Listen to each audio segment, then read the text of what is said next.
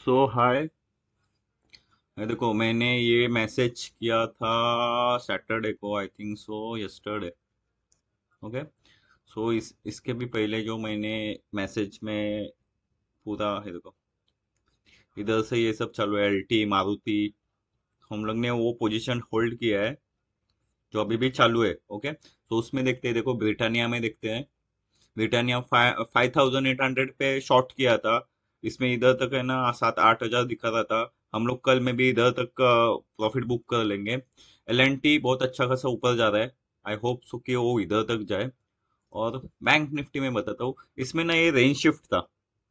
See this is range shift concept इधर divergence था करके बाद में मार्केट नीचे आया।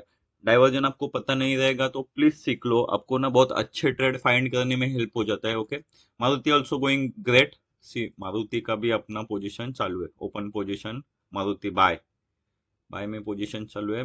Target twelve thousand six hundred है.